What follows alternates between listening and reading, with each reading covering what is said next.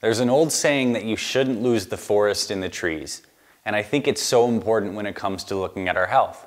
Because right now, if we look around the mainstream healthy living advice, it's so focused on the minutia of this diet versus that diet. Should you be keto or paleo or vegetarian or this or that? Those are the trees. We're losing picture of the big forest. And this is why in this video, I wanna talk about the cycles and the balance and the stuff that really brings your body health and well-being on a macroscopic level so that we can inform the decisions we're gonna make about those more microscopic things. And before we get into this graph here and some of the things I wanna share with you, we need to talk about the general concept and a little bit of philosophy. And that is, is there is an order to the natural world. If we look around and we look at uh, Mother Nature, we look at the earth and her seasons and cycles, Everything has an order. There is a balance between daytime, which transitions to nighttime. There are the seasons of summer and winter. There is hot, there is cold. There is this balance of these different forces. And our bodies manifest the same principle. There is balance between our activity and our rest, our food intake and ingestion, and our food elimination and fasting. And now it's even ordered into our very DNA when we are essentially being conceived and the beginning cells of our bodies are starting to form, we have DNA inside of us, ordered structured DNA that has the exact blueprint about how these bodies will develop. And everything starts developing on a plan. The plan is set out, it is set in stone, and everything evolves from this central plan. This is how we need to think about health. Health is about maintaining the order and balance in our bodies. When we maintain that order, we feel ease, when we lose that order, we experience dis-ease. The lack of ease, the movement out of that healthy equilibrium that our bodies are designed to be in, this is the big picture conversation that we all need to understand. And to understand this, we're going to look at some of these dualities that are in play and present um, in our bodies, particularly around food, sleep, activity, um, and our mindset. These are going to be some areas that we're going to talk about. And we're going to look at each of these areas, and I want you to reflect on your own life as we're going through this. Which areas are you in balance, In which areas are you out of balance? And when we're out of balance, we are going to manifest dis-ease. So when it comes to ingestion and elimination, we have this balance. We must eat food.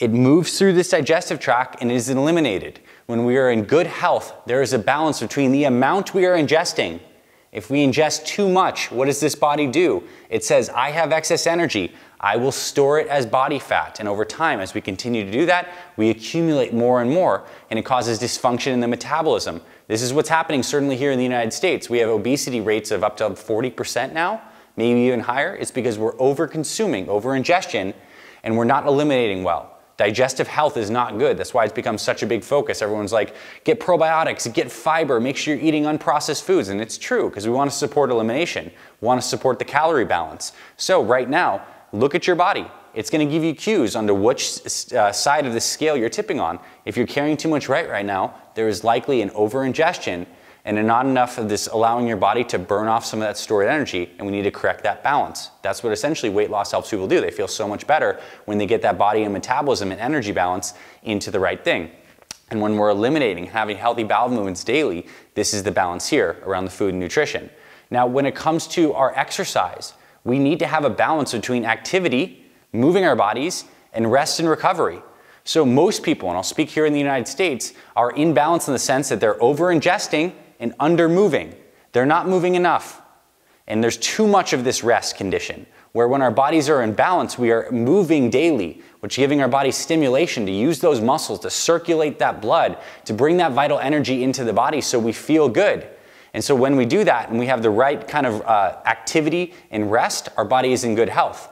On the flip side, there's also the other extreme where you can exercise too much, where you're going so hard, training so much. Maybe you're preparing for like a marathon or a triathlon and you feel run down because the rest principle is not in balance with the activity principle. We need to bring those things into balance. And it is for you right now to think, where are you at on this part of the duality, on this continuum between activity and rest?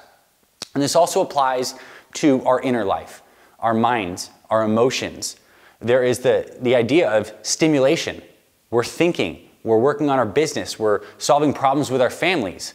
And at the same time, we have a relaxation where we're not thinking as much. Things slow down in the system and everything kind of sinks back into a sense of stillness. These things need to be in balance. And again, here in the United States, we have a lot of this. We have a fast, hard charging culture that is like work, work, work, work, work, lots of stimulation, not enough relaxation. And then we're also propping ourselves up because we're not resting enough with stimulants like coffee, energy drinks. And then our mood is out of balance. So we're taking medications and pharmaceuticals to balance our depression and our anxiety. These things are masking the symptoms of the fact that we're out of balance with these principles. This is it. This is really the game. It is kind of on a big picture this simple. We need to reestablish harmony and balance in our systems. And your balance point is different than mine. We're all individual, and we all need to look at ourselves on these different continuums. Where are we out of balance and where are we in balance? In the areas where we're in balance, we need to acknowledge the habits, the environment, the healthy environment that's allowing us to stay in balance and maintain those things. Like the good gardener keeps up with the good soil that leads to the good flowering of the good fruits, right? And at the same time, when we're out of balance, we need to use our intelligence and our awareness to recognize where are we missing the mark? Where are we? And we need to make those corrections to bring the system back into balance. This is the forest of good health.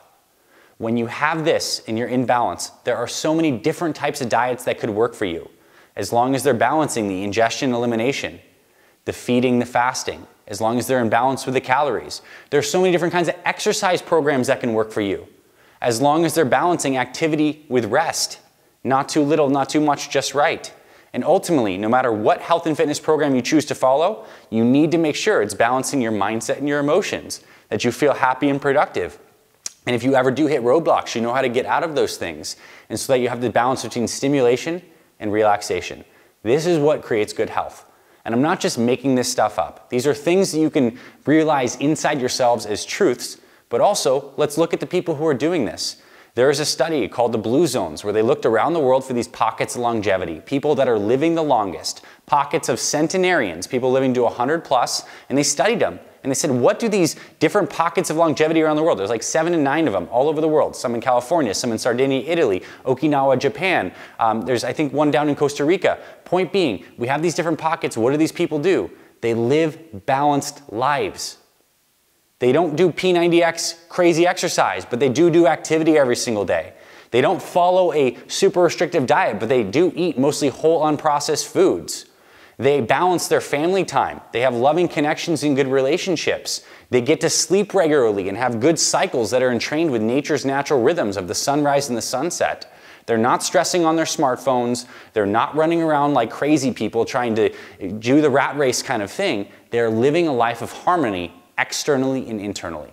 And if we want to feel ease and we want to move away from dis-ease, we need to re-establish our balance and our harmony.